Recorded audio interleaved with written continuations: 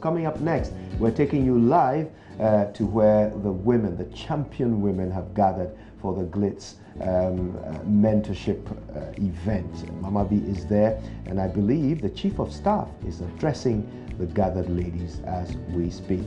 Let's go there right now. Thank you so much for joining us this morning. Depending on the contest.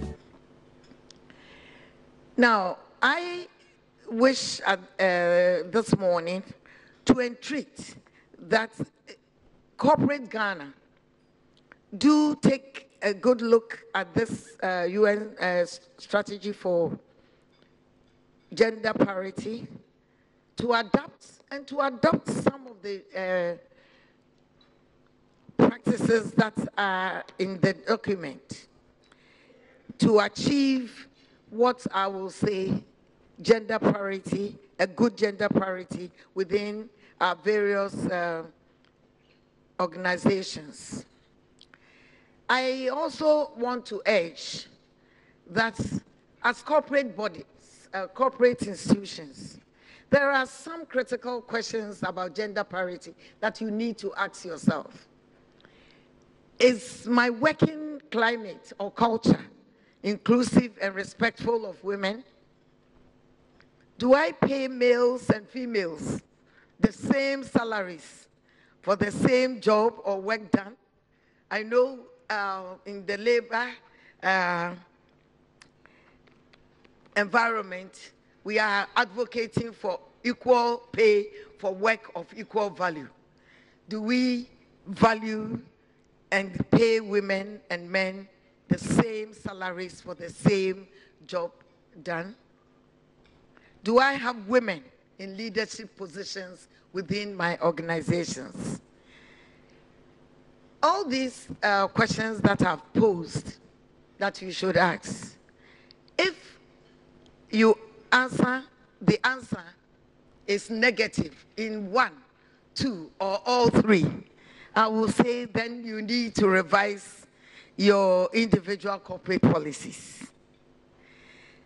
And it will be very helpful to take a, a good look at uh, such policies if really some of these simple questions are uh, answered in the negative. Ladies and gentlemen, the situation of gender parity, obviously, is much better now than a decade ago. Perhaps there is definitely, but there is definitely more room for improvement. Today, an appointment of a female Chief Justice, Attorney Generals, Foreign Affairs, CEOs of multi national organizations is increasingly becoming accepted as normal, in quotes. And I do hope that my appointment as the first female chief of staff will pave way for other females to be appointed to this position in the future. So it becomes normal. by giving women equal opportunities does not mean we should sacrifice meritocracy for any political expediency. Those of us who are in top managerial positions know how hard we worked to attain them. And so we must mentor the young ones under our leadership to build them up so that they can even take bolder steps than we have. We have a long way to go, distinguished ladies and a few gentlemen. We have a long way to go to achieve this. But in unity and determination, the sky is the limit for all of us. I wish you a very successful Ghana Women of the Year Honors Celebration. And congratulations to all those who have been honored on this platform. We wish, we look forward to celebrating more women in the years to come. I thank you very much and may God bless us all. Thank you.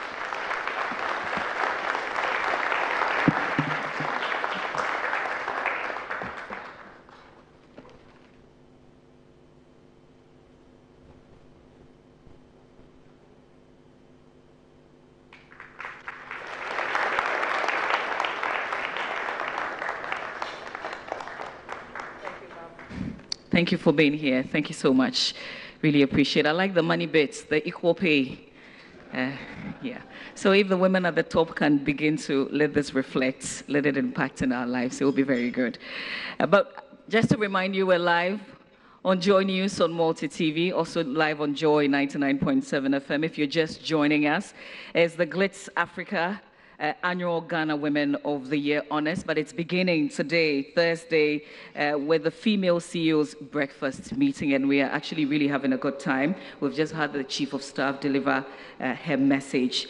Uh, we've got a discussion, a panel discussion, which will come up pretty shortly. We're talking discrimination on the basis of gender in the workplace. We're talking sexual harassment as well. And we know that uh, all of you will have to go and do other things. So we'll make it really brief and short uh, so that we can get the purpose for which we're here. So let me just move on and call on Dr. Eugene Owusu, who would give uh, some remarks from SDG. Please, let's put our hands together and let's welcome Dr. Eugene Owusu.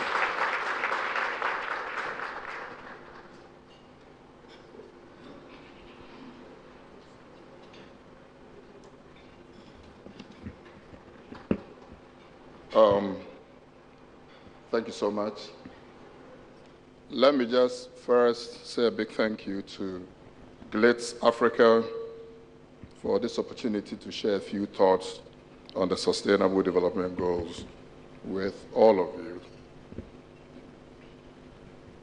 The, if you look at the world in which we live today, it is everybody's business and indeed everybody's responsibility to help transform our world. The Sustainable Development Goals presents all of us with a historic opportunity to really have a prosperous, a more peaceful, a more secure, a more stable, and a fairer world.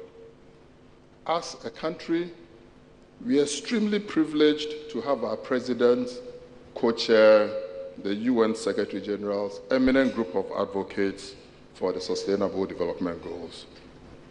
In that privileged role in which our president has, there are six policy priorities for him, and I'd like to use this opportunity to share them with you very quickly.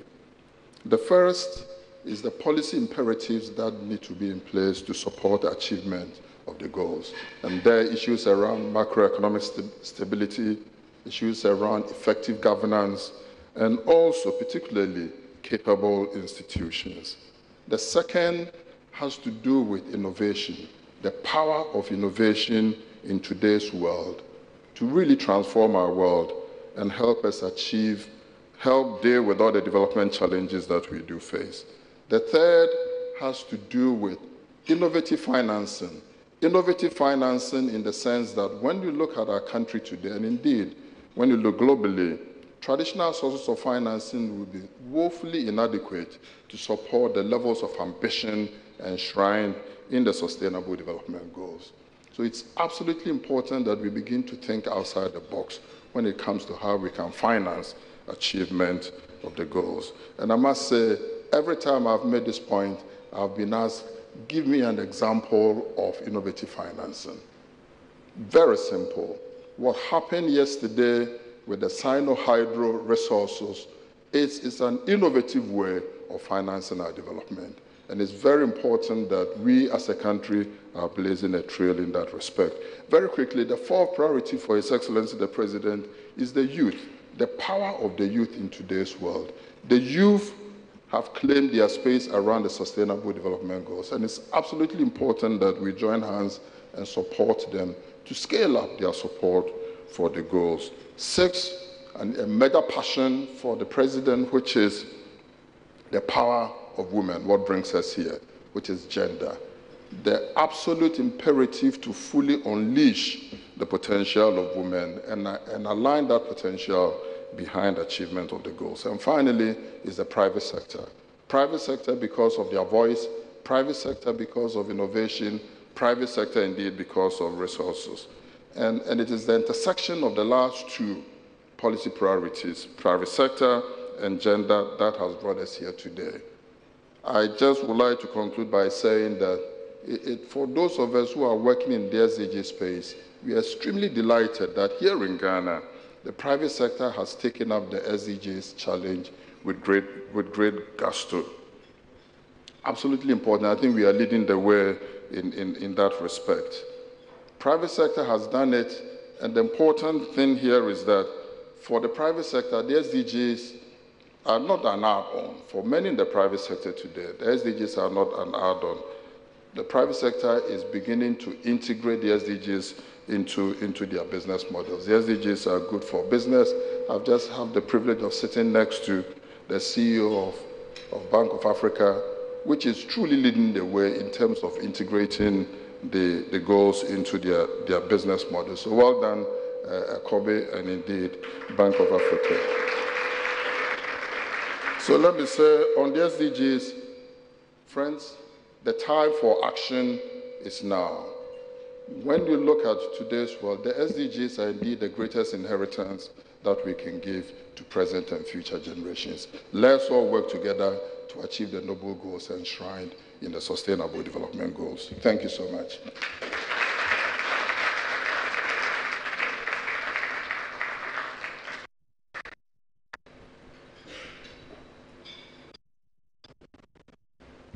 Thank you, sir. Can we please give him a round of applause? And real quick, I would like to call on the man. Some brief comments. Please put your.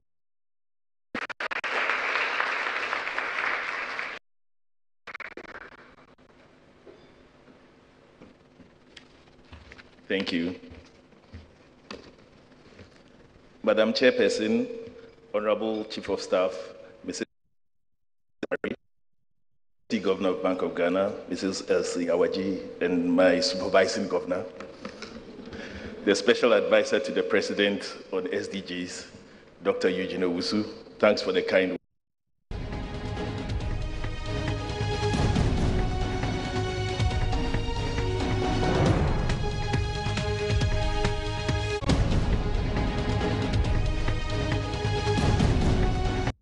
financial institution with a presence in more than 30 countries in Africa, Europe, and Asia, employing more than 14,800 staff across the world, has made several commitments to the Sustainable Development Goals. These include the Equator Principles, the UN Global Compact, the positive and the positive and impact finance, financial principles. BMCE Bank of Africa's Corporate Social Responsibility Charter defines six pledges which guide our practices and growth model. These are one, respecting business ethics and the interests of our clients, promoting sustainable financing and social entrepreneurship, being a responsible employer, attentive to the employees, the needs of our employees and their development, being diligent in the exercise of governance and risk management, protecting the environment, and lastly, acting in the interests of the communities and supporting dialogue with our stakeholders. The objectives associated with each of these pledges provide guidelines that each leader, manager, and employee of our group must integrate within all their actions. And we are expected to render reports in our achievement of realizing these goals in our annual reports and other periodic public non-financial reports. It is in recognition of our group's our group as a good corporate citizen that BMCE Bank of Africa has received several international CSR awards. I must say that I feel very much at home with this event for the reasons mentioned above, and also because it's an event about women in our society who, in my opinion, are our greatest resource as a country. As a bank, as a bank, we are conscious of this fact and have put in place practical measures to ensure that we do not discriminate against women. Our diversity and inclusive policy we have also a, sex, a sexual um, uh, uh, policy was put in place, for example, to take care of this. We have, I'm glad to say, we have now a woman as a, a deputy managing director, uh, Fatu. And we have several women in our senior management roles. And I dare say, without any hesitation, that these are among the best we have in the bank. Bank, bank of Africa Ghana is a member of the IFC SME Guarantee Risk Scheme, which has rewards for participating banks, which rewards participating banks that exceed set targets for lending to women. Uh, when we were coming in, uh, the deputy governor asked me uh, how much loans we have given to women. And when I mentioned the figure, she said, only that? but, uh, Madam, today I promise you next year we'll be talking a different narrative. But I'm pleased to let you know that we exceeded these targets and we got the rewards from IFC. I'm very grateful to Claudia and uh, Glitz Africa and to Dr. Owusu of the Office of the President for reaching out to us to be part of this year's edition of the Ghana Women's Honors Award. Thank you very much.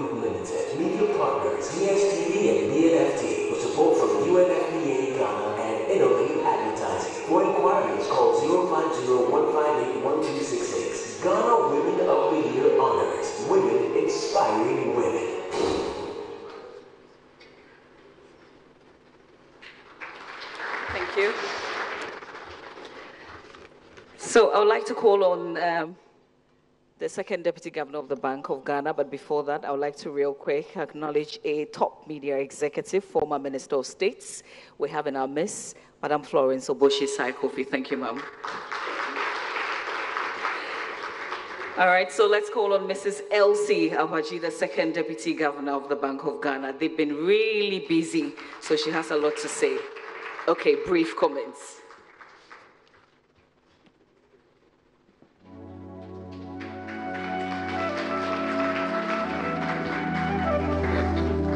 Good morning. And uh, it is indeed an honor, a great honor to be here um, in the midst of such distinguished women from all spheres of life. Um, Thank you so much, Glitz, and um, your various partners for giving me this opportunity to be here today. I'd like to acknowledge the presence of all our distinguished um, guests and um, just to say that it is really inspiring to be here and to identify women that I have admired since I've been a child. And I, I, I, told the former First Lady this morning that as far back as I was in high school, uh, when she was um, uh, First Lady, I, I saw a confident woman, a woman who was not afraid to step up, a woman who was not afraid to speak her mind, and uh, just to show who she was uh, in the way she dressed, in the way she spoke, and in the way she followed her passion for advancing the cause of women. And decades um, since then, some of us have grown uh, to follow uh, in that path. And uh, so, thank you once more. Thank you. Uh, Auntie Frema spoke, and um, I, I, I, everything she said resonated with me, but I have also had the opportunity to tell her just how much she's inspired me uh, long before she even became chief of staff. Um, I say all of this um, to say that I appreciate every woman here today. I may not mention everyone's name, but the sheer importance of women stepping up to be, to be who they're called to be is so critical to show the way for other women. And it may be that you may not get a direct feedback from women in terms of how you're impacting them or how you're inspiring them. But whether it's that little girl watching TV every night and seeing you, or hearing you speak on radio, or just, you know, somehow getting to know about you, uh, the impression that you're making on that person, the, the, the strength you're giving to that person, uh, could be that thing that propels them into their own destiny. So it's absolutely important that we're true to our calling, we're true to our passions, we're not afraid to step up. We still live in a country where it's dangerous for women to step up, to take up certain roles. I, I had people ask me, uh, out of love, uh, did you really get advice before you accepted this role? are, are you really sure? because we know you, we know you don't like trouble for yourself, but are you really sure you wanted this? and I had to say, well, I felt convicted it was time to serve my nation in this capacity. So, when we talk about gender um, balance, everyone has a role to play, as we've heard that. And as Mr. Anders said, I keep reminding the financial institutions about access to finance for women. Women, economic independence of women is extremely important, and we need to really uh, do more, each of us, to make sure that that happens. But I believe that women have a role to play. Uh, women must themselves be prepared. Women must themselves be confident. Women must themselves not be afraid to take up opportunities when they come their way, and to do that so that they themselves can fulfill uh, their calling, their mandates on earth, as well as show the way for other people. I talk about when I was appointed to this role, I was not afraid because I had seen another woman do the exact same thing. I had the pleasure of working for six years at the International Monetary Fund that was headed for the first time by a woman and by a woman lawyer as well. And the IMF, if you know, is a world of economists. And you had for the first time a woman, uh, a brilliant lawyer, and leading the IMF. And I saw the changes she brought to the place. It brought, she brought a human face to the IMF. She began to talk about issues that affected women. For the first time in the life of the IMF, research was done to show that access um, to the job market for women increased the GDP of a nation. by multiples. And that was the first time it was becoming a macroeconomic issue. And it took a woman to do that. It took a woman to show the way. And I believed that that had impacted me a lot and that had shown me how a woman could do it a woman's way, not a man's way.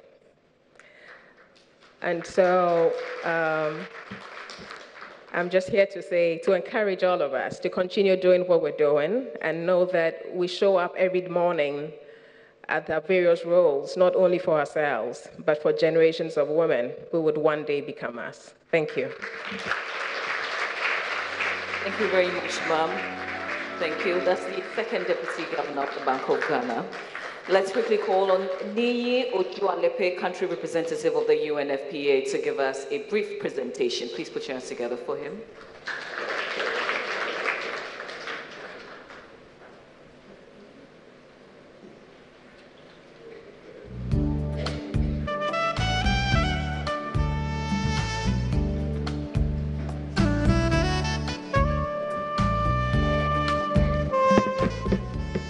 Good morning, everybody. Uh, it's a great pleasure being here this morning, and I want to acknowledge um, the honorables, um, Your Excellency, the former First Lady, um, the Honorable Chief of Staff, um, female CEOs present, the Deputy Governor of the, of the, of the Bank of Ghana, and um, everybody here present, those of you who have found it um, expedient to be here this morning, I want to thank you very much and acknowledge your presence. Ladies and a few gentlemen here present, good morning, everybody. Um, my presentation, that's why it's a presentation, it's not just a remark, it's just to um, put a bit of background to the discussion that we should have this morning. And the discussion is against the background of the issue of gender equality, um, the unfinished business. We all know that um, generally women are more than men in this world, and in particular in our part of this country. And you find them in every part of business. But today we decided to focus a bit on those who are in the corporate world. And um, if you look at it, um, we have 41% of women are economically active.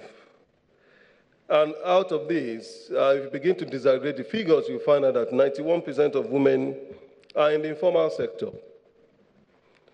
So that's a disproportionate, very, very disproportionate um, um, figure compared to the men folk. But I'm going to be drawing your attention particularly to the, the corporate sector, the upper class of the corporate sector, where you have only 6% of women who chair boards. And I'm talking about global figures, I'm not even talking about Ghana alone or Africa alone. Across the board, the world over, the issue of gender inequality and gender bias is a worldwide phenomenon which is not limited to just Africa. And it's necessary for us to begin to look at how we can fix it because it's generally known that if you allow a woman the free reign, then the nation can develop. There is no nation that will develop without the contribution of women. And it's a good place to please clap.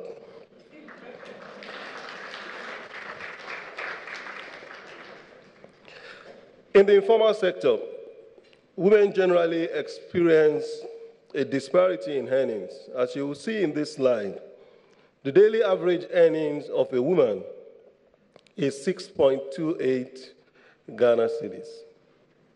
Compare it to that of the men, the average earnings is 8.56. And these are very, very credible figures which we got from the Ghana Living Standards Survey. So they're very credible figures for us to look at. So if a woman is working so much and the man is working so much, why would the men be earning much more than the women? These are questions that we need to begin to answer in this uh, part of the world.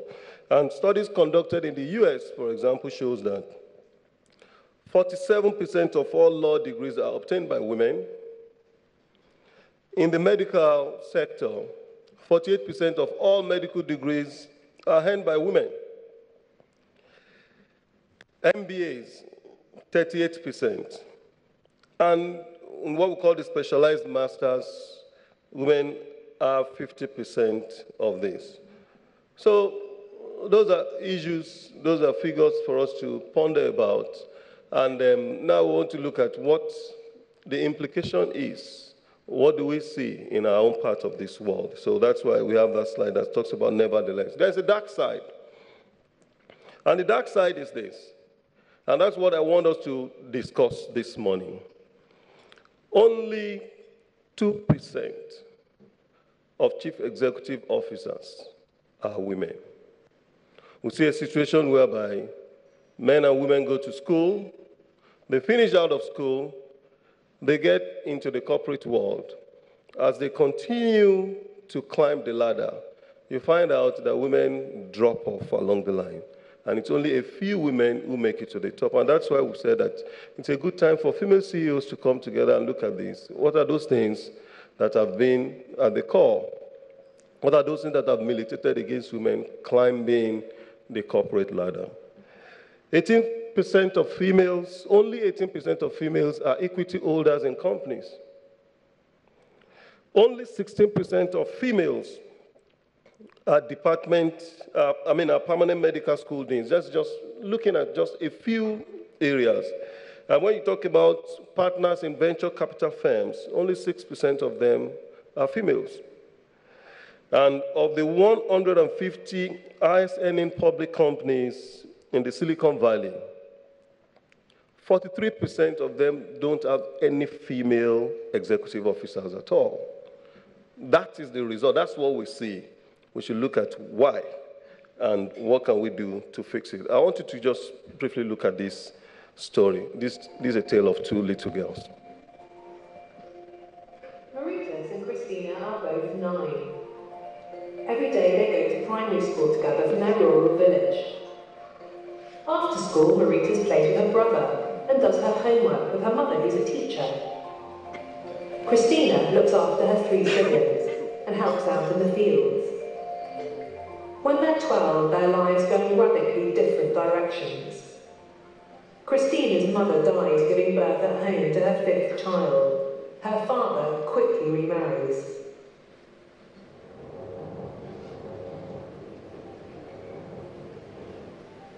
Christina is forced to marry a man three times her age, while Maritas goes on to secondary school.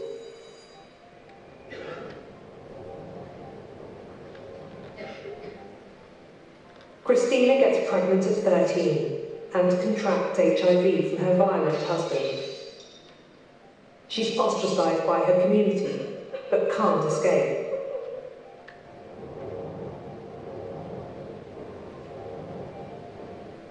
When Maritas gets her first boyfriend at 16, her mother takes her to the family planning clinic.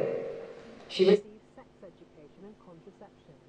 When she finishes school, she trains as a doctor.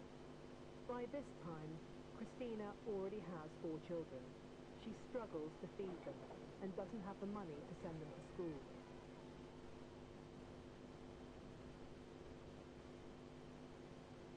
Maritas is able to decide for herself.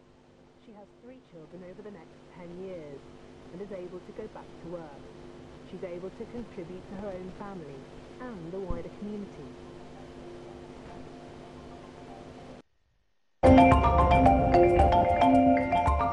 Christina's life could have been like that too, if she'd been able to decide for herself.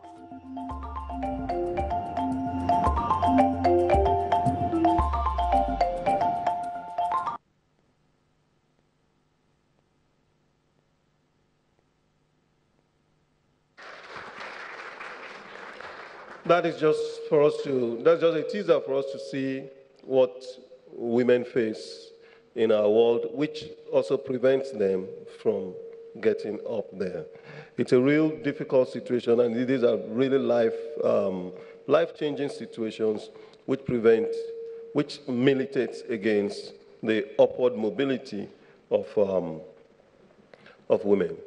And that's why I want to talk to you briefly in the next two, three minutes about the United Nations Population Fund. What we do is to look after women generally. And a year ago, I was honored to be named as an honorary woman by Her Excellency the First Lady. Because my business is actually to look after women. In, in UNFPA, we have what we call the three transformation, transformational goals. The first is to ensure that we come to zero preventable maternal deaths. The second is to come to zero unmet needs for family planning and zero GBV, that's gender based violence and harmful practices.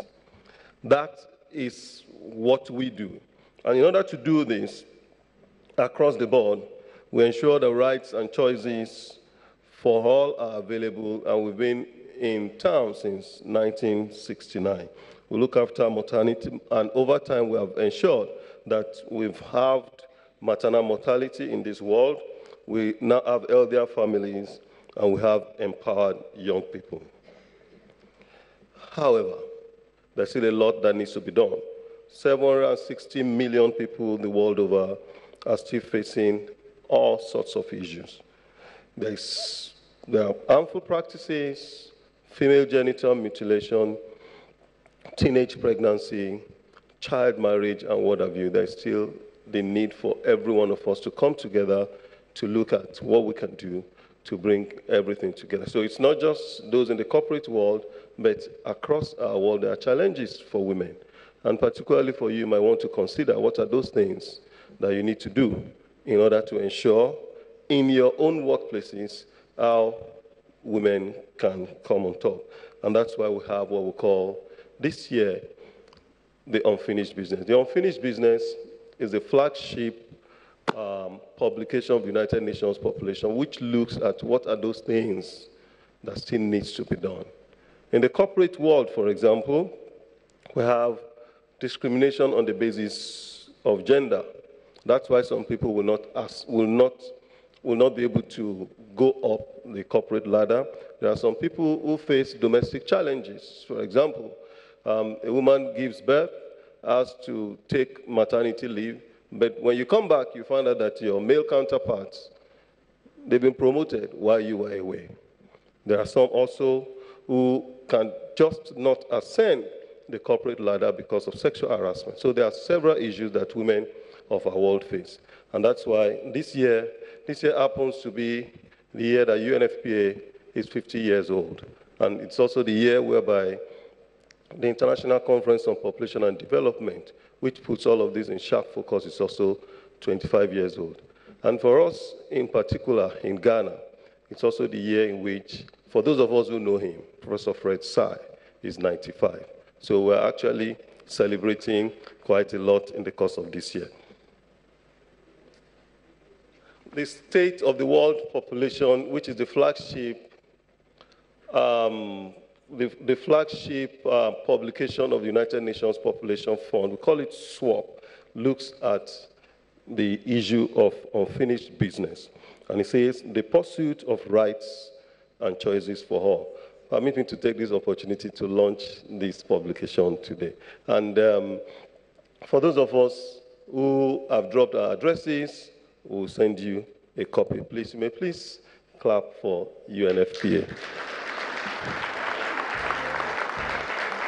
I want to wish you happy discussions, and particularly, just to end, we really like to learn what in your workplaces, what you feel must have been the reasons why women don't ascend the ladder, and let us try and identify one or two things that we can do in our workplaces in order to equalize the gender balance and to ensure that going forward, women can have a better lot. I want to thank you very much.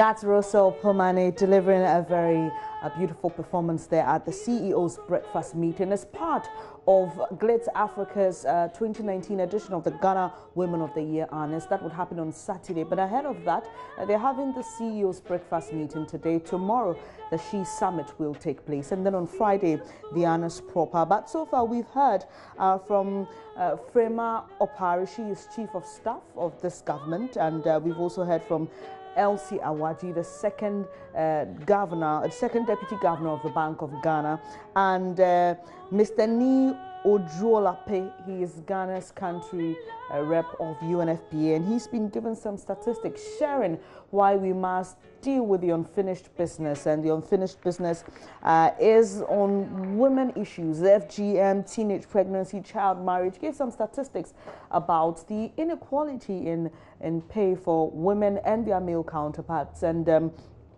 also shared uh, that 6% of board uh, chairs or board chairpersons around the world are women, only 6%. And talked about the need to do that.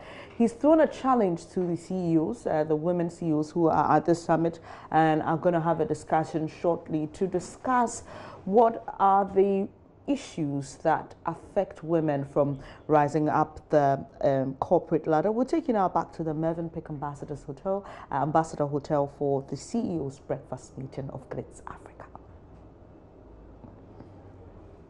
Area, energy leading PwC's Africa region, and learning and education where she leads for Ghana. Please put your hands together. Let's welcome Aisha. And as Aisha comes up, uh, I would like to acknowledge we have Wayne Dunn, President, Founder, CSR Training Institute here this morning. Letitia Adelaide is an MD, National Population Council. Please put your hands together as I acknowledge them.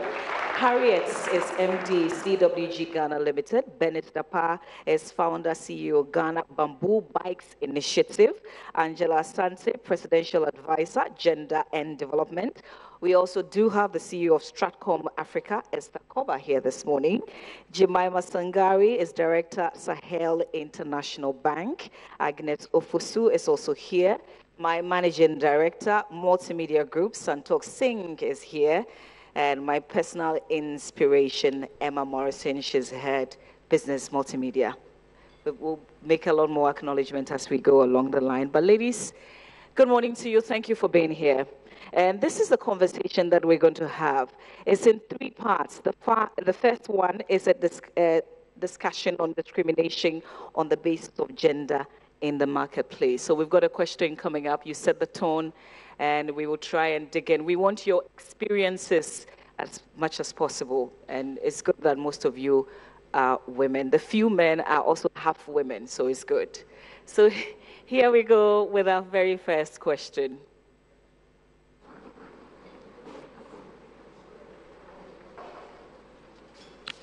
And as, as we get that ready, let me continue to acknowledge. Okay, here we go. Discrimination on the basis of gender in the workplace. This is the subject.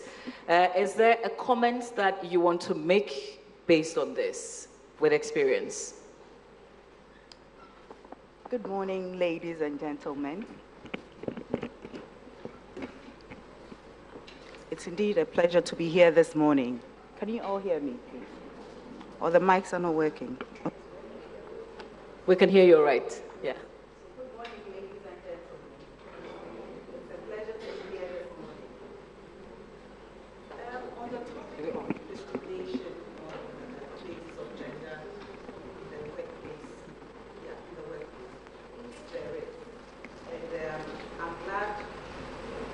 We have a lot of women here. I'm sure um, associate with what I'm about to say. This is a personal experience.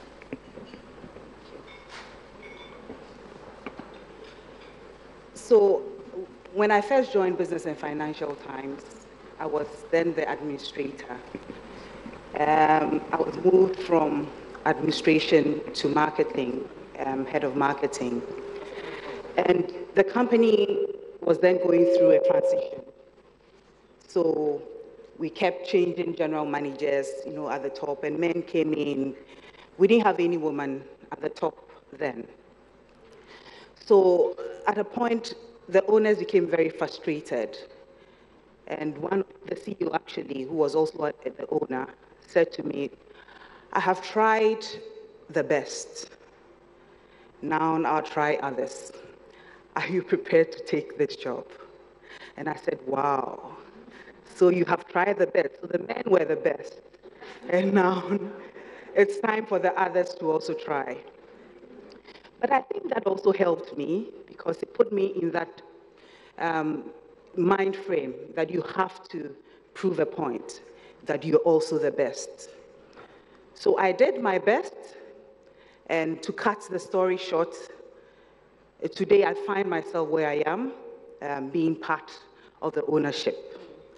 And so when it comes to discrimination, I'm saying this because, or I share this because it was clear discrimination, because it was, we, we, we live in a man's world. It was more of the men. If somebody has to be the CEO, then it has to be a man, not the woman. So although I was a woman, or I am a woman, and at that time I was delivering, I was, you know, I actually turned the fortunes of the company around because I was then bringing in enough revenue to run the company. They did not look at me. It was about men. So the discrimination is there. And I think that we have to, there should be a deliberate plan to um, maybe policy in terms of enacting and implementing policies to skew or the, to look at the direction of um, quality and not really gender, looking at gender. Sometimes we also discriminate, discriminate against men, so it's a bit balanced. But the fact that um, we all know that women suffer more or most as compared to men. So that is my little experience I Okay. have with discrimination against women. All right, Oh, we appreciate that, Edith. Okay. Thank you. Anybody wants to make comments in the audience? Because this is about us, really. And there are people watching who are learning from what we are sharing. Uh, Aisha, but if anybody also has something, please let us know. We will get the microphone to you. Aisha. Thank you very much, and hello, everybody. My experience has not been um, as, you know, as negative as Edith's. So um, I'm fortunate to work in an organization where there is a lot of positive development um, towards, specifically towards empowerment and the growth of women. But what I will say is because um, I'm in a service-based organization where I work with clients, you know, from all across different industries and different um, you know, stakeholders are involved. I have experienced some kind of discrimination, and I think it's more of a mindset Apologies, Aisha. We seem to have a, a challenge with the microphone. We'll work on it real quick. Uh, and if you're just joining us, we're live on Joy News on television, also live on Joy 99.7 FM. This is the second part of our program this morning, the female breakfast meeting. And we're having a panel discussion. We're talking about, first of all, discrimination on the basis of gender in the workplace. Aisha. Okay, I think this is better. Yes. Yeah. All right, so I, I, I would say that because I work across, um, I service a number of clients across many industries and deal with many stakeholders, I realize that discrimination sometimes is subtle and it's really a mindset um, issue. So um, even though I am senior, I'm a partner, uh, I'm an owner of the business and, and all of that, I still experience situations where, um, actually a recent one was when I was moderating a panel like you are today, and, and asked one of the gentlemen on the panel, you know, a, a question that was topical. It was not controversial in any way, but topical. And um, when he answered the question, you know, he said to me that in front of everybody, you know, go and tell the person who put the question in your mouth um, that I have answered it, which was clearly very disrespectful. And of course, he didn't see why I, as a woman, should be asking him that kind of question. So, you know, I think that in, the, in those sort of situations, it's clearly a mindset change. In organizations, we can do as much as we can do to legislate, to, to make people aware, to educate. But a lot of it comes from our societies the mindsets, um, the cultural issues that are very well ingrained, deeply ingrained in, in, you know, in our environment, and that's what needs to change. So I think that's the education that we have to do, yeah. and I think that as women, uh, we like and we need to see other women doing what we want to do. You know, it's aspirational. Then there's a need for role models, positive role models. Yeah. And so seeing is believing, and that's why forums like this are really important, and that's why for us we need to model positive behaviors to make other women know that it is possible to be who we are. You know, so yeah. that's that's what I have to say on that. And I've experienced a bit of what you have experienced, asking somebody a question and they thinking that, why should you be asking me this? So I want to find out your reaction so that we can all learn from that. How did you okay. react to go and tell the person yes. who put the question in your mouth? Yes. So at that point in time, obviously I had to be in control of my emotions. And so my response to him was immediately that Nobody put the question in my mouth, and I moved on to the next question. Did it affect me? Yes. Was I hurt? I was hurt. But I had to, in the moment, maintain my composure. So again, that comes back to how we carry ourselves as, as women, as individuals, but especially as women, the boundaries that we set um, to enable people know how far to come with us and how we handle these difficult situations. I dealt with my emotions in private, but it, it clearly was an uncomfortable and difficult position. So I would say at that point in time, gather everything within yourself to remain composed, deal with the person as they need to be dealt with without any emotions, and later in, in your chamber, you know, do what you need to do to make yourself fine, yeah. to feel okay. Well, thank you for sharing. Sorry about the experience, though. And we also want to hear from the politicians. We want to hear from the politicians. Okay, Madam Oboshie Sai-Cofie would say something, please. It's important that we hear from uh, leaders who are in positions where people can sometimes even insult you and how you hold yourselves. Hi, everybody. Thank you for your stories, ladies. It's even more difficult um, once you enter the political world. That's a whole different ball game by itself. But I'll just share two little stories. And um, one was when I was I, I, don't, I don't remember, I think Minis- Information Ministry or something. And um, the outside publications world has a style of sending young, beautiful ladies to come and see our ministers to try and sell highly overpriced advertising packages. So this, you know, elegant, tall young lady in a very short skirt comes after seeking an appointment and the visible disappointment on her face. Oh no, I want to see the minister himself. so I was like, okay, go and come back at four o'clock. So she goes and she comes back at four o'clock. And then she comes and she says, Oh, the minister is not. And I said, Yes, I couldn't tell you this morning. You were so disappointed. But in fact, I am the minister. and and um, so we, we, had to work around that. And I'll credit my big sister Elizabeth Ohene, who was um, Minister for Media Relations at the time, she made an effort to get government to stop that practice of uh, accepting those overpriced publications. But the fact of the matter is that if you don't take care, then you, you become harsh uh, and um, always trying to posture to show that you're equal. But I think the secret really is in learning to use your feminine, feminine side and use the softer touch and be more of a coaxing, cajoling, and get your own way anyway. Reach the top anyway without having to change who you are as a woman. Mm. Thank you very much. Um, any more experiences? We'd love to hear from you uh, in this manner. I know I'm dying to hear uh, from the former First Lady, but we've got three issues, right? So any of them is fine. Still ahead, we'll talk about domestic challenges preventing upward mobility in the corporate world, and then we'll talk about sexual harassment in the workplace as well. Okay, yeah. Edith? Um, as I sit here, I feel a bit guilty because our management team has more men than women. It is not balanced. But from my experience, it, that is not deliberate. But the fact is, as women, sometimes we don't like to compete. So we want to be where we are and not move to the next level.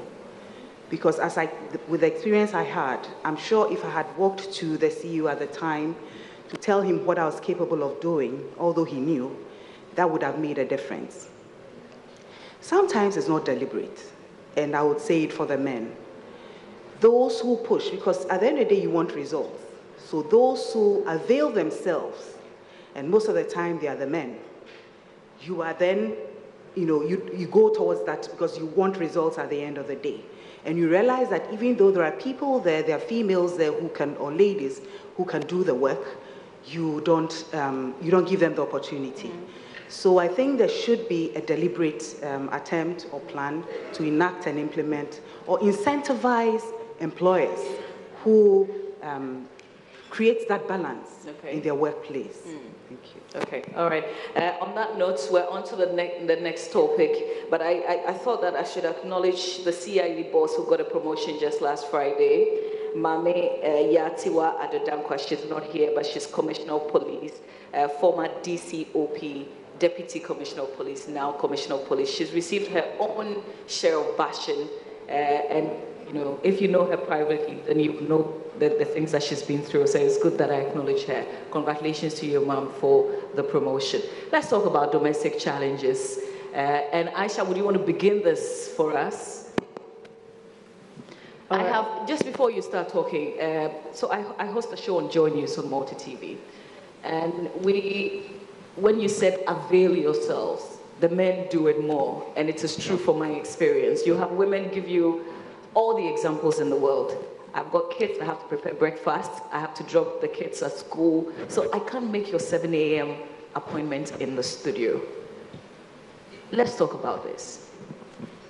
All right, so I think with the introduction that you gave, those um, reasons are very valid and legitimate. Um, women do carry the bulk of um, domestic responsibilities, and I think beyond domestic responsibilities, there are responsibilities around extended family, there are other responsibilities.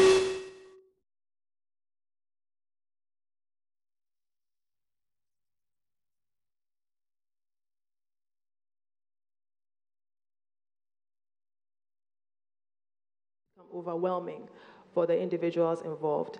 Um, so what is required at this point is, like I said, it takes a long time to change mindsets, cultural practices, societal beliefs.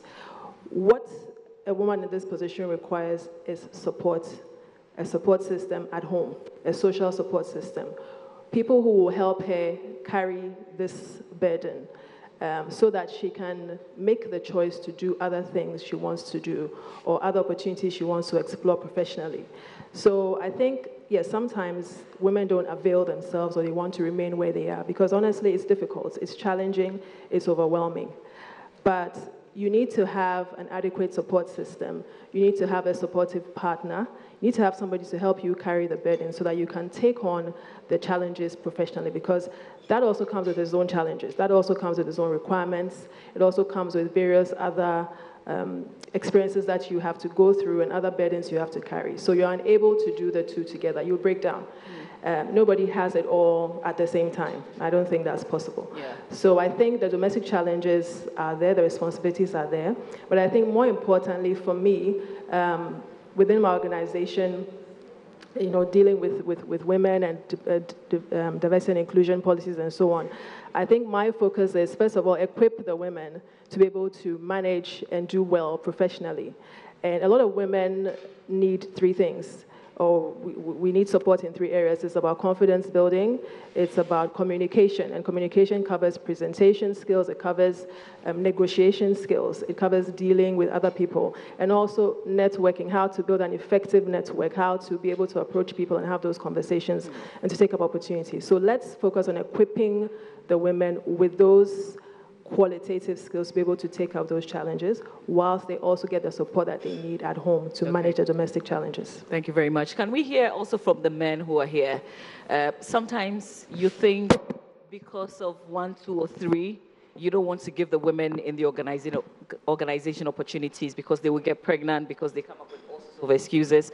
So, all the excuses in the world that we give sometimes, can you remind us so that we can come up with a, a way of dealing with it? Anybody wants to contribute in this regard? I know that there are a lot of experiences out there. Yeah, maybe I'll say that I, I want to say they're not excuses. They are reasons. They are reasons. They okay. are legitimate and valid. Or reasons. challenges. Yeah. Okay, sure. Edith, do you want to make a comment on that?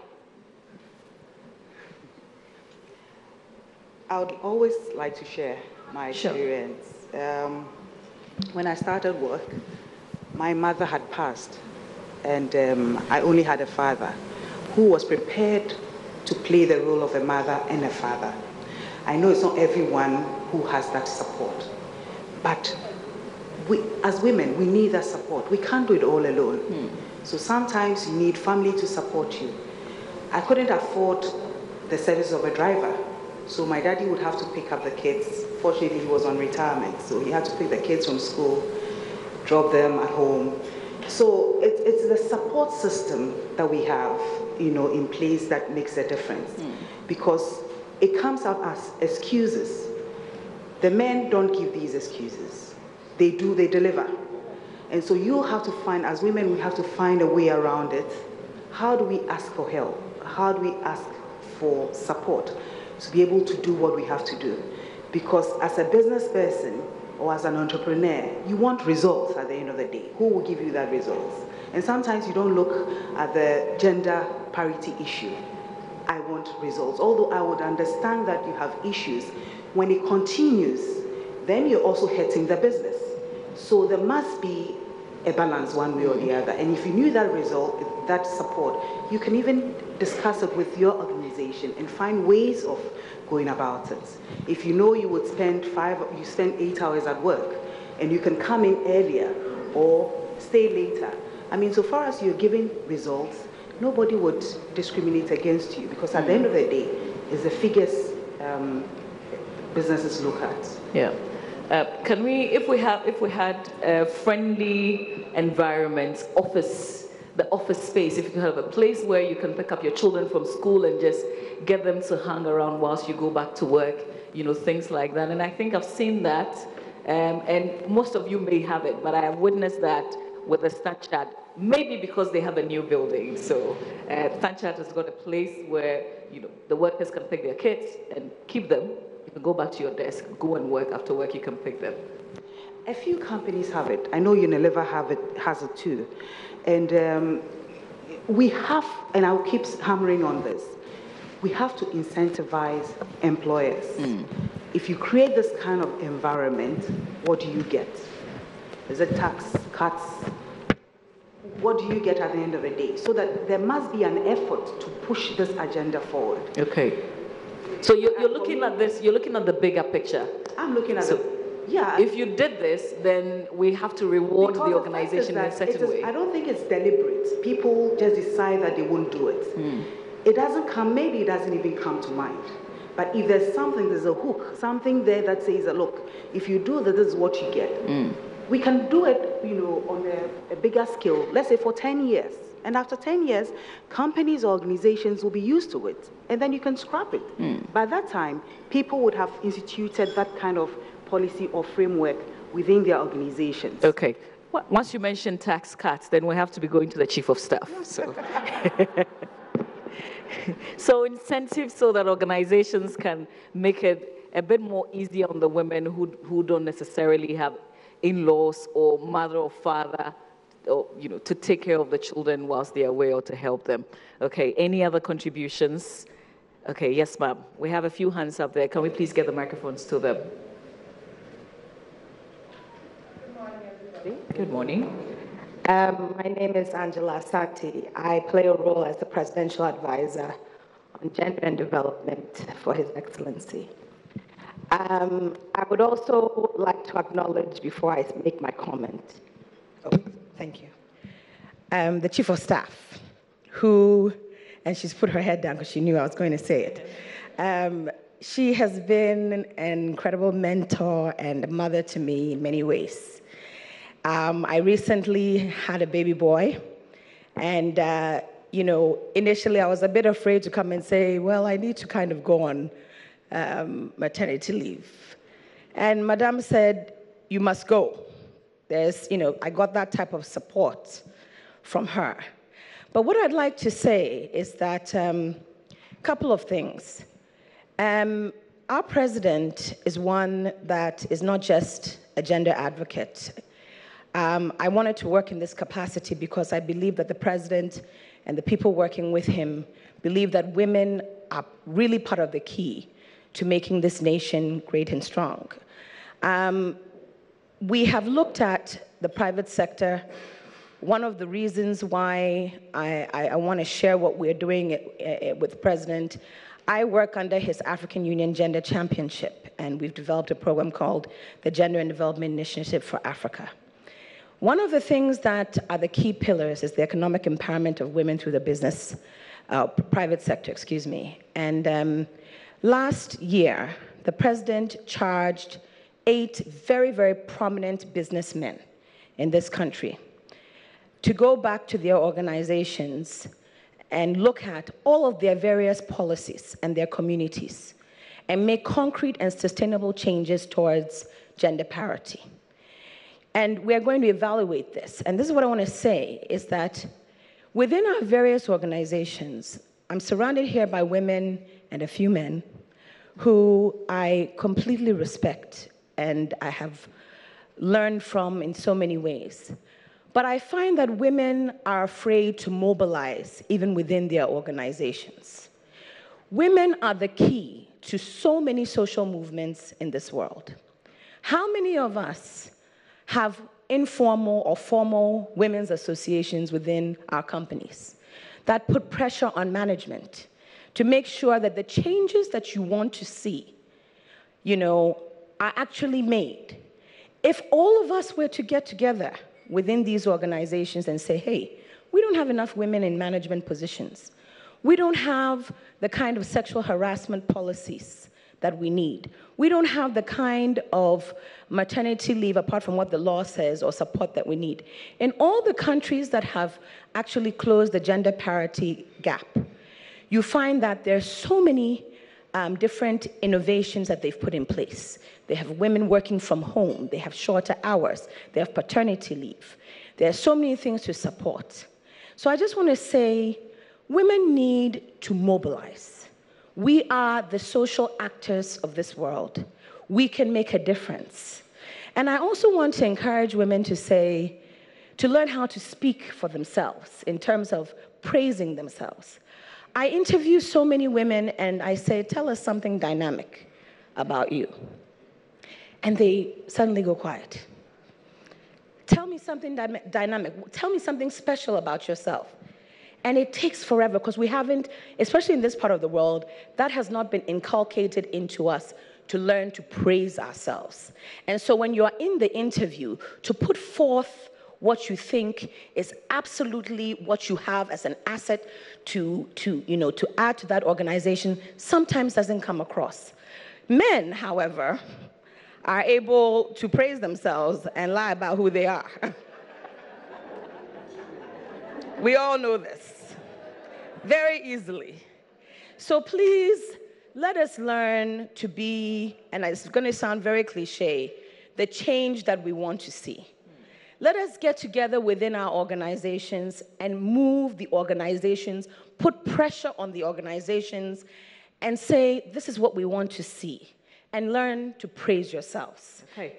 Thank you. Thank you very much. We got some two other hands up.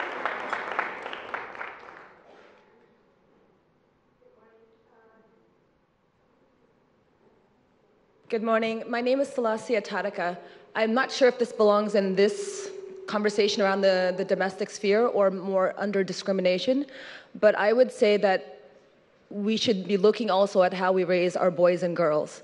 So all this stuff becomes perpetuated, and if we are not looking at how we bring up our boys and how we bring up our girls, it will continue to be perpetuated. Thank you very much. There's one more. Okay. Good morning. My name is Nanekuya Bemi. Um, following from Madame, I'm the best architect in the world. Is anybody hiring right now? Are you available? Okay. yes, so I'm very passionate about this topic um, because I. St- let me stand up. So, yes. Yes, I'm very passionate about this topic because I literally started my company as a pregnant woman with four children. We are the largest architectural firm with a lot of women who are, most of who have children because we have a nursery. We have a nursery in our little office. We have a place where people can, I mean, when you come from maternity, you can go up, go and breastfeed your baby, and come back down to do your work. You see, there's nothing sadder than people with so much potential having to just stop work because it is hard. It is hard to raise children and meet your timelines. It is hard to do literally anything if you have so many children. But if your work will accommodate it, and I think that work just hasn't accommodated us, I think women should choose to leave work, not be pushed out of work. So please, everyone here, it's not difficult. You don't need so much space. I'm an architect. You can use any kind of space to create convenience um, spaces to bring your children to work. Apart from that, um, it also has to be some kind of policy. Public spaces, um, commercial buildings, you have to create space for us to function in it. Banks, when I go to a bank, I should be comfortable to go with my kids because you can create a little corner for kids to be entertained while you fill your forms and not feel like, you know, an alien. In, and, you know, most people will stop doing things because walking around with children, doing things with children is difficult. So let's create the space to accommodate us. We belong here, people. we belong. Thank you very much. Can we can we please get the microphone uh, to the former First Lady, please? Okay, after you. No, go ahead. Thank you very much, and thanks to the speakers, um, distinguished ladies, and the distinguished men here. Um, for years, I was talking about having a small daycare center in every big institution people thought I was going a bit. Uh, but today, from what is being said, it's clear that we still need it. I remember I had a slogan for the women, Emma Monsori, women, arise and organize. Organize for what? Various areas of development, our own development, our children's development, and the development of our nation. There were people in my, sorry, thank you. There were ministers who would sometimes, when I say women, they say, oh, get up and go to the kitchen and cook and shut up. I knew who they were, but I, I just ignored them. And I kept pushing my agenda forward. Between my organization and the children's organization, we were able to formulate a lot of laws for women and children. Are we able to utilize these laws? Laws can be made, but if we don't use them, we don't, we don't make them active, there's no point in making the law. So there are so many laws that we can actually look for and use them for the benefit of women in this country, to make things easier for us. I'm not saying we've done it all. No, we are still pushing ahead. The, the chief of staff is telling us what they've done. Others have told us what they've been able to do. Madam has said, told us about how they changed a certain, you know, way of young people coming to entice just to get um, uh, adverts and so on. But today, as we sit here, one of the biggest problems, apart from women having difficulties at work, is sexual harassment. I, I know it from a first hand um, uh, situation where you send a young lady to an office with a letter, just a letter. And please make sure you tell the director that I'll be in touch. And don't just leave it with the secretary. Make sure you see them. They come back and they are crying. What's the problem? And if they tell you what that senior man has done, you want to take a knife and go and cut off somebody's head. I'm sorry if I sound a bit, um, sorry, guys. But we've got to educate people, especially those in positions of power, that the fact that you have your position doesn't give you power over every woman who comes to see you and every young girl that you set your eyes on. You start misbehaving. This has to go in the Ministry of Education, Ministry of Information. We've got to push this agenda. Thank you very much, ma'am. Thank you very much, too. Really important. And I think that you've taken us to the final question on sexual harassment. So we can put the two together. Uh, if, if you still have comments that you, you want to make, I saw a hand up here. Okay. Uh, if you can come to the side. Thank you very much. So we're, we're adding sexual harassment, and you can make comments on the previous two as well. Hello, thank you very much, and good morning to you all. It's a great pleasure to be here. Um, my name is Gertrude Anokwashi, and I work with the African Women's Development Fund.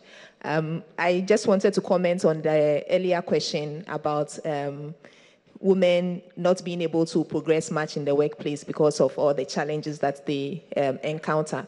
At AWDF, because we are a feminist organization, we make sure that the, we create the conducive environment for everybody to progress. And one of the things we've done is to increase even our maternity leave from three months to four months. And then when people come back from maternity leave, give them the flexibility. And that's what I wanted to highlight on that the flexibility is really critical. Um, because whether we like it or not, having a, a, a child at home comes with, with its own um, expectations. And therefore, if we give women that flexibility, then they are able to manage. The other thing is that we, we can't do it. And from my own experience, I had in laws and my own mother supporting me when I started having my own family. But sometimes there is also the guilt factor. And that's what I wanted to bring in this conversation that once you are um, relying on assistance from other places, then um, you know, you are made to feel guilty that you are not living up to your responsibilities. And we need to bear that in mind and overlook that. Um, we can't do it on our own. There is no way we can do it on our own, our own. We need to rely on that support system and not feel guilty that we are failing in any particular way. Thank you very much. Thank you very much, too. Any more comment? Yeah, we, okay, we have two hands up there. Good morning, everybody. My name is Renee Q. Watson, and I am a personal branding and development coach. I'm also the host for the Today's Woman show. So I'm looking at all these women and thinking, oh gosh, the whole year is covered. I have, I have all my guests here. Um, I just wanted to say that I think that we need to start teaching from a very young age what sexual harassment is. What is sexual harass- harassment? As soon as you say that, people think rape. So when you, and because of the stigma attached to it as well, those who've been sexually harassed don't even like to say it. Even men can be sexually harassed. Um, I used to work in a bank before, and I was sent to a country for training. And at the time I went, they were selling shares. The, the bank was selling shares. And it was a huge meeting, and they just asked, How many shares have you sold? How many shares have you sold? It was the first time I was in that country. And I was asked, How many shares have you sold? And I was thinking, number one, don't you know I don't work here? Like, I mean, I've come for training. You haven't seen me before. Number two, who am I selling shares to? Number three, I don't even know the company that well. You've sent me here for training. I mean, I was thinking all these things. And in front of everybody, how many have you sold? So I said, I haven't sold yet. I'm here on training. From where? I said, I'm here from Ghana. Where are you staying? I mean, this was in front of everybody. I said the name of the hotel. Who is paying? The bank is paying because they brought me for training. And you think when you go back, you're supposed to go and sleep. Go and change. Wear something sleeveless. Go to the, the, the bar. Do you know the governors and the big men that come? What are we paying you for? You know, and yes, now sexual harassment is not just, even, you know, they, they think that it's sex, as in rape, penetration, excuse me to say, but we have to teach. If uh, somebody slaps your bum, it's not a compliment. But some of the women at work think, oh, sir. so that means like I'm the special one because you chose me to slap my bum. And how dare I even report it? This is what we have to teach. What is sexual harassment? And don't be afraid to lose your job. Don't be afraid to walk away. I came back to Ghana on Sunday. On Monday, I was at work before 7 a.m. because I didn't have a printer at home to print my resignation letter. I had to go early to print and sign it. And I went to HR and I resigned. And they asked me for more money. I said, it's not about the money. They knew what I was bringing in. I was fantastic at my job. They still want me. I'm not going back. But you know, sometimes as women as well, you need to set your grounds, put your foot down. I will not be harassed by anybody. But first of all, what is harassment? We need to start teaching. Thank you. Thank you very much, Renee. And I've just got a follow up, Anita, before you come in. When you run, and let's try and answer that question where do you run to? Because you have to, there must be a place where you're resigning to. There are people who think about that before they make the move. Anita, please go. Hello, good morning, ladies. My name is Anita Erskine. I'm the best broadcaster alive. Thank you very much. Um, hey, Emma Morrison, good morning, good morning.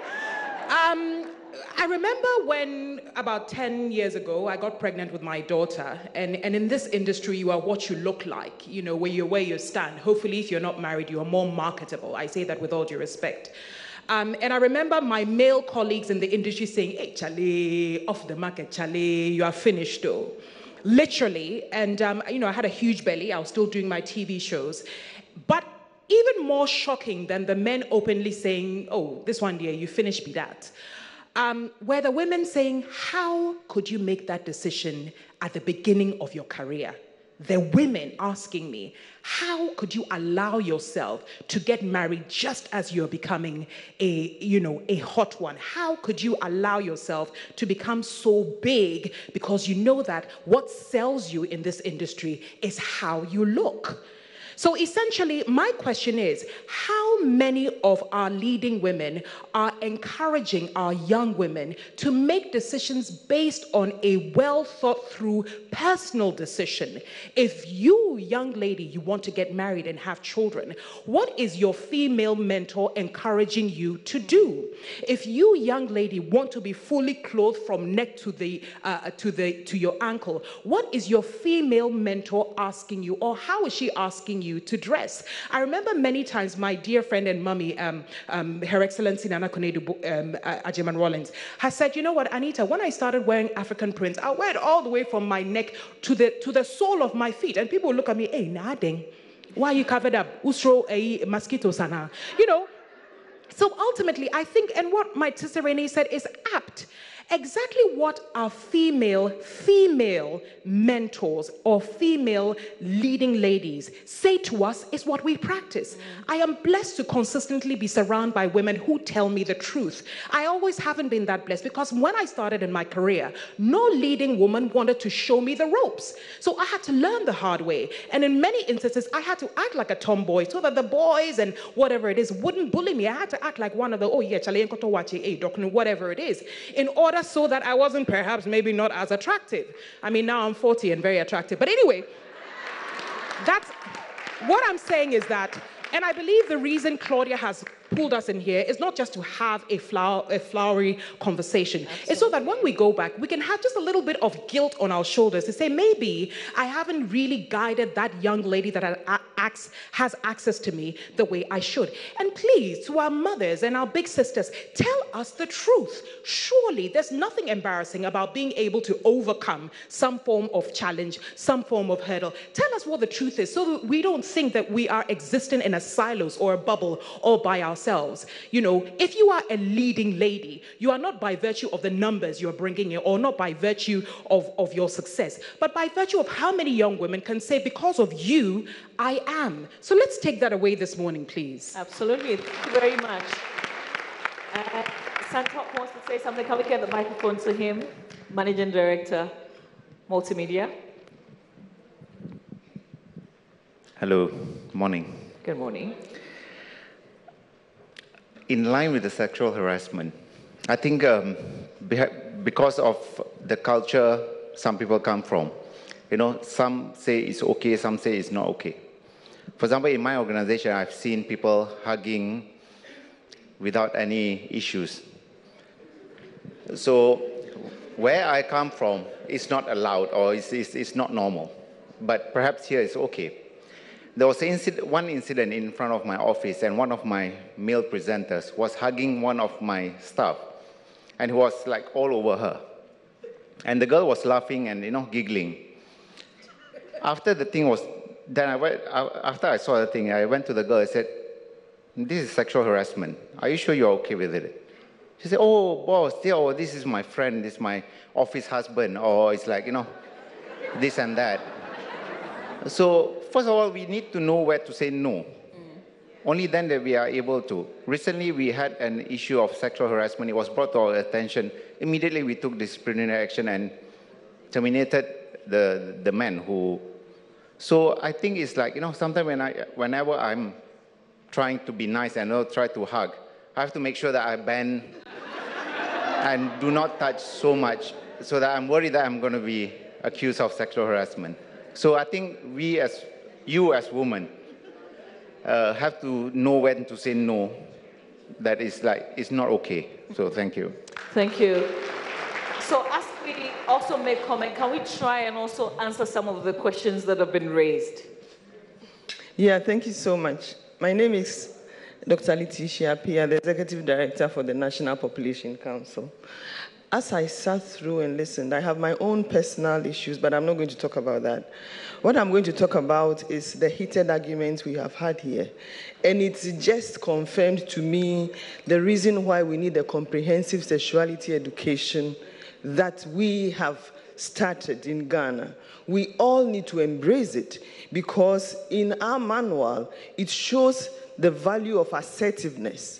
Comprehensive sexuality education is not just sexual harassment, but you being assertive and standing up for what you want, standing up for who you are, and letting men know or boys know that protecting girls is manly. That is what makes you a man, and that is what our comprehensive sexuality education is. I was privileged last week to say it at the UN, and there was an uproar. And I said, no, ours is age appropriate and culturally sensitive. And we need to embrace it as a country because you can only give what you know. Mm. If we do not define, how do we make sure that our children are growing up the way they should be? We should not just be interested in, in solving the problem. So, what is it? But then we have to prevent it from happening. And that is why I hope that Glitz and UNFP, of course, is part of it. We would push the comprehensive sexuality education to the level that it should be. Parents should know it, children should know it, teachers, doctors, everybody should be on board.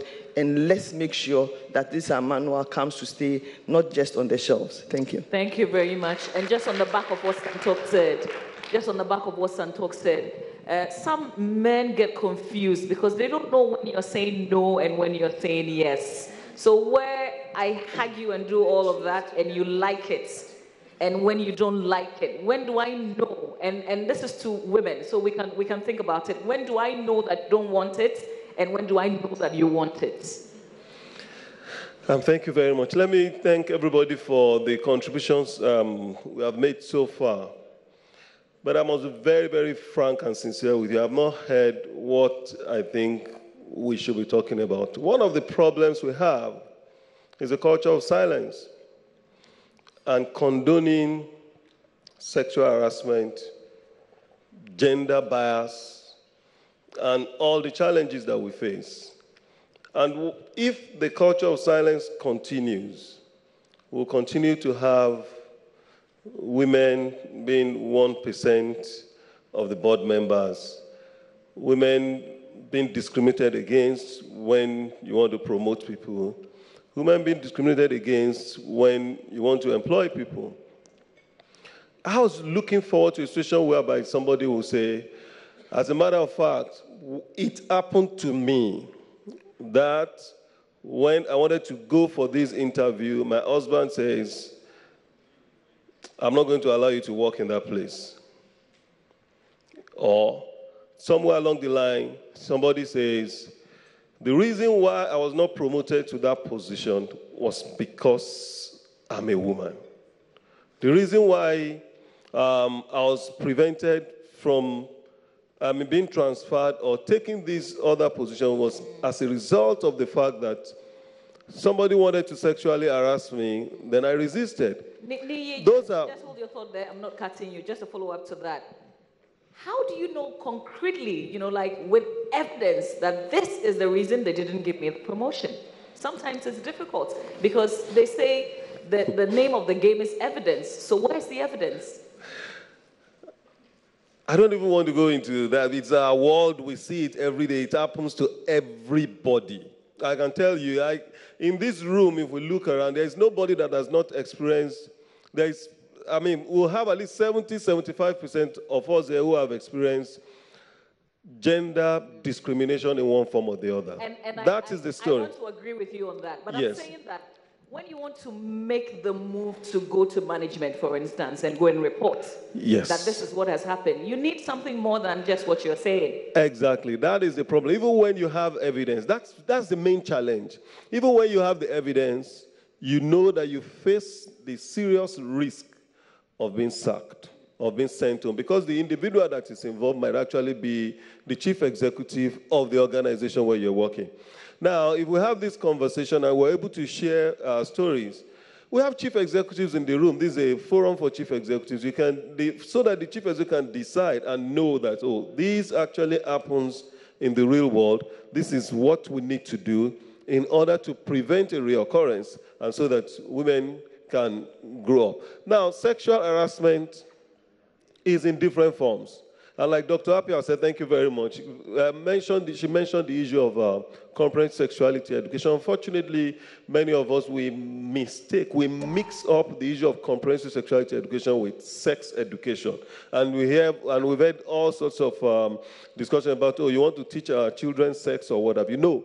Comprehensive sexuality education is what a child will have, it's what the adolescent girl needs so that when she's growing up, when that man says, Oh, please see me by the side, or makes a snide remark, or winks, or so, she already knows that this is where he is going. And so she automatically presents, prevents the discrimination, she prevents rape, she prevents um, unwanted sex. She has agency over her body. So that's what we actually do with comparative sexuality. Education. And I want to commend every one of us. I want to commend actually the government of Ghana and especially the Minister of Education who has allowed uh, the uh, curriculum on comprehensive sexuality education and with the support of the National Population Council to be in place, which we are actually rolling out okay. now so that everybody all can right. have it. Thank you very much. Thank you very much.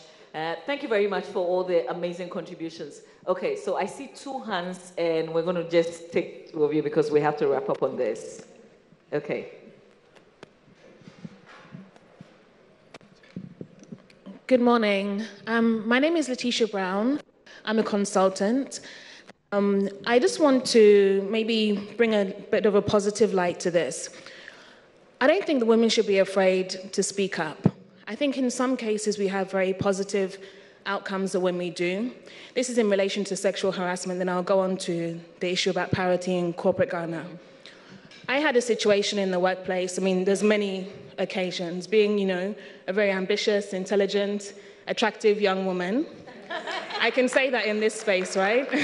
no, you can say it you everywhere. Get, you get multiple, you know, um, offers and approaches that are extremely inappropriate. On one occasion that I decided to speak out, and Dr. Owusu is sitting here, so I can say this um, quite openly, and I'm really proud of the way that he handled the situation. And I said to him, um, This client's getting a bit difficult. I don't think I can handle it. And he said, Don't worry, don't call him again. I'll deal with him from now on. You know, so in those instances where we have leaders that are supportive and um, give you that confidence to, you know, be able to say no, that I'm sorry, you know, there's a, there's a limit here. You can't treat my employees or my consultants in, in this way. I don't think that he's the only person in Ghana that has that belief. So don't be afraid to, to speak out. Unfortunately, sometimes you may not get such a positive response, mm-hmm. but in this instance, I did. So, you know, a round of applause for Dr. Owusu.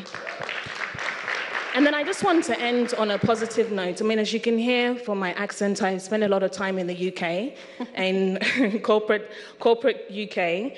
Um, and I think corporate Ghana is doing extremely well. When I moved here, I, I was so inspired by the amount of women that I see in senior management positions. Um, my first role was at PwC. You know, people like Ayesha, she wasn't a partner at that particular time, but I saw the journey. And it was extremely encouraging for me because I think at that time that I was moving back from the UK, working with the UK government on a policy to bring more women into leadership and into the workplace, I mean, this was just seven years ago, and we're a developing country, right? So I think that we are far behind on many things, but I think the gender parity is not an area where we have a weakness. I think it's rather a strength. So I just want to encourage us that I think we're on the right track, and I think we're doing extremely well mm. in terms of our global um, counterparts. So I think we should all be inspired by the amount of women that we see in this room today in leadership positions and the amount of support there, there is for them. So I just want to say a round of applause for corporate Ghana as Thank well. Thank you very much. Uh, real quick, can we have the microphone? Okay, please do it in 30 seconds for me. My name is Doreen from Women and Children's Health Promotion. Um, I would like to take a different stand on from where we are. We are talking about sexual harassment, but unfortunately, we have some women who use their bodies as a weapon or as a tool to get to where they are. We are struggling to develop policies to deal with SGBVs, and then what some of us are doing is to use our bodies as a tool. What happens? It means all the efforts that we are putting in everything is going waste. And then um, to follow up from when he got to talking about the silence when it comes to uh, gender based violence. One thing that happens in our country is the judgmental approach or stance that we normally take. When a lady comes out that I've been raped, I've been harassed, sometimes, unfortunately, we have some of our own women. What were you wearing? What did you go and do there? And then at the end of the day, what happens? You can't even talk anymore because everybody points accusing fingers at you yourself. So you just shut up and then everything goes. The next time it happens to another woman. Mm. Thank you. Thank you very much. And this is really important. Can we? Okay. I'll, we'll come back to you, sir. You'll be the final uh, person to make comment. Thank you. My name is Dorothy Jokotu. Um, I'm the principal partner of Equator Law. And what I want to say is that I think that from the Industrial Revolution, it appears that the very infrastructure of the workplace has been designed to favor men. Because during that time, the men went to work and the women stayed at home. So when you look at even the time to come to work, the time that meetings are set up, you know, when you can close, who, who comes to work even on Saturdays. You know, because all those things are geared towards how you get promoted. You know, so when there's a meeting at 8 a.m. and you have to take your toddler to school, and your toddler won't wear that dress that you chose and is throwing a tantrum, you're going to be late. You get in five minutes late, and all the men are rolling their eyes. You know, so I do think that the laws and the policies, the, the, the, pieces of legislation, we probably need to push for them to be reviewed so that they are not um, women blind. Mm. The same way that when we build office buildings, we pretend we don't, we don't have, excuse me, we don't have the disabled with us. And so there are no ramps, there are nothing. It's the same way that the work environment, they pretend there are no women. And even if there are women, they mustn't be married, they mustn't have children, you know. So that's where I do think fundamentally we, uh, we get shortchanged as women. Thank okay. you. Thank you very much. Very important as well. We'll just take the very final one. Um, your, your hand has been up a lot, so we'll just take the final comment from you. Apologies, I want to leave a little more time so we can network when we wrap up. Thank, thank you. My name is Wayne Dunn. I'm president and founder of the CSR Training Institute. First of all, it's been an amazing morning. I, I, mean, the stories, the passion, the accomplishments, the insights, the encouragement, and, and just all of the accomplishments are, are amazing. I'd just like to give a ask people to switch their thinking a, a little bit. I hear a lot of people talking almost as if they want a favor or why a company should have do more or or that you know it's something that it, the company should do. Remember, each and every one of you go and, and Google the value of gender diversity in organizations. You will see study after study after study after study that shows that gender diversity, that increasing women in executive positions, increasing females on boards, increasing female chair of boards and CEOs adds value each and every time in businesses when you're pushing to move into leadership roles, when you're pushing to move forward, you're really pushing to help your organization. Your organization isn't doing you a favor, you're doing your organization a favor when you do that. So keep that in mind because you aren't asking for a favor, you're offering a favor as you move forward. Thank you thank you very much. Uh, Edith and Asha, you've been amazing. I just want to give you the last opportunity if you want to just make very little comments and then we wrap up on this. As um, individuals and especially women, we have a role to play. We have to support ourselves, each other, other workplaces, and we also have to be assertive. We have to be confident enough to approach our superiors if we think or we find ourselves in a position to do more. Um, and also on the bigger scale, I think government should also, government is doing a lot, but if we can enact laws to support this process, I'm sure in the next five years, 10 years, it will be a different story. Thank you very much. On behalf of the Chief of Staff, she's heard you. Thank you. Um, I think what I'll say is that in life, we, we get what we have the courage to ask for. So let's be vocal about what we want. Let's be honest with ourselves. Let's not repress the way we feel or deny our feelings. Let's acknowledge our feelings. And let's support each other as well. Um, I think Claudia said behind every woman there's a tribe of women helping her, and it's, it's very true. With that support, both at home and in the workplace from each other, we really can achieve what we want to achieve. So I would encourage us all to keep, keep supporting us, each other, and we'll definitely succeed in our endeavors. Okay, thank you very much. Just a little reminder uh, tomorrow, Friday, at the EcoBank head office, we've got the She Summit. We would appreciate it if you can come through as well. And then on Saturday is the one that is crowning it all the Ghana Women of the Year Honors 2019. We've got tickets on sale here. It's happening at the Labadi Beach Hotel on Saturday. You definitely want to be a part of this. We've started this, so let's finish off beautifully. I'd like to say thank you to all of you for making it here this morning. Thank you. Really, really appreciate it. Thank you. Uh, and there are a lot more young girls uh, and sometimes even women in executive positions who still want mentors, people that they can learn from. A lot of us are suffering. It's very difficult uh, to identify someone and even walk up to them uh, because sometimes the women seem very busy. So please, if you can, just get one person or two people and mentor them in one way or the other. Um, just to say thank you to Emma Morrison, one of my bosses. She's been amazing, very incredible, and I'm proud that I, I, work with her because there's something to learn from her every day. So thank you all for being here this morning. Uh, on behalf of Claudia Lumor, we thank you for coming. Go ahead and have a beautiful day. Uh, for those of, uh, those of you who've been watching on Joy News and on Joy 99.7, listening, we thank you for your company. Have a good morning.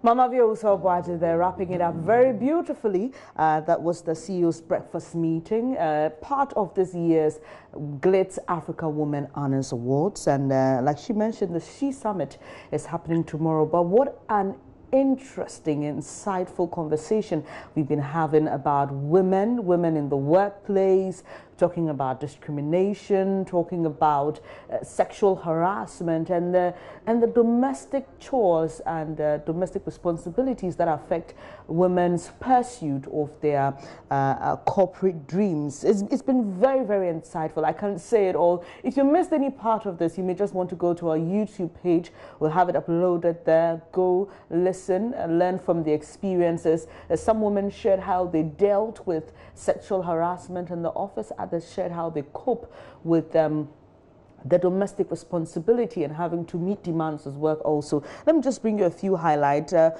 this um, session discussion we just wrapped up was uh, moderated by Mama Vio Abuacha, but the key uh, contributors were um, Edith Dankwa, she's the CEO of the B&FT, and we also heard from Ayesha Bedwei, she is a partner with Price Waterhouse Coopers. And uh, with regards to the support system, Edith Dankwa said, look, don't be, don't be shy uh, to ask for help because you need it. Uh, as a corporate woman, it gets really burdensome. And she spoke about having a good support system. We heard from many women who actually encouraged their uh, companies and organizations to create conducive environments for them. There were many examples cited of organizations that have nurseries and um, playrooms for children so that when, when mothers or fathers pick up their children, they can drop them off and go concentrate on work. Examples were cited of what happens in other countries where uh, some women are given beyond the maternity leave, sometimes are allowed to work from home and creating more productivity in the end. Um, we heard from former First Lady Nana Konadu Agyeman-Rawlings, who says that, well, she's been talking about this issue of getting nurseries and she thinks that it's still needed and it's very important, and actually cautioned men at the top uh, in, in, in the corporate world to take advantage of, of the power they have to um, you know, sexually harass young girls and said that that wasn't wrong, using some strong language there, uh, but actually apologized for it later. But it just tells you the kind of passion and emotions that she attaches to this. This has been a very, very, very interesting conversation. Statistics have been shared, experiences shared, and uh, solutions and recommendations preferred. Chief of Staff Frema Opare was there, and uh, we also had Elsie Awadzi, Second Deputy uh, Governor of the Bank of Ghana. Our own MD Santokh Singh there sharing a few um, comments there on sexual harassment, given the multimedia example of how people who do that are, are brought to book and actually disciplined. And uh, we also heard from Mr. Niyi Ojuolape, he is country rep UNFPA Ghana and gave a beautiful presentation and launched uh, the UNFPA book uh, SWOP and um, said it's available for those who had registered for it. I'm sure if you go by the UNFPA office. If you need one, you would get it. But look, it's been amazing. It's been interesting. Uh, but for now, this is where we wrap up on the Ghana Women of the Year Honors 2019. We'll be back with more here on the Joy News channel. Africa presents the fourth annual Ghana Women of the Year Honors, a three day event to celebrate the superwomen, the women driving the agenda. On Thursday, the 11th of April, we'll have the first ever female CEO's breakfast meeting at the Movenpick Ambassador Hotel. Special guest of honor, Mrs. Frema Osei Opare, the Chief of Staff of the Republic of Ghana. On Friday, the 12th of April, the She Summit under the theme Beyond Gender at the EcoBank head office, Ridge, Accra. And finally, on Saturday, the 13th 13th of April, the Ghana Women of the Year honors at the Labadi Beach Hotel, 7 p.m. sharp. Sponsors Fidelity Bank, Believe with Us, Veuve Clicquot, Savani Motors, Labadi Beach Hotel, the Bank of Africa, and Multimedia Group Limited. Media partners DSTV and B&FT with support from UNFPA Ghana and Innovate Advertising. For inquiries, call 050 158 1266. Ghana Women of the Year honors women inspiring women women.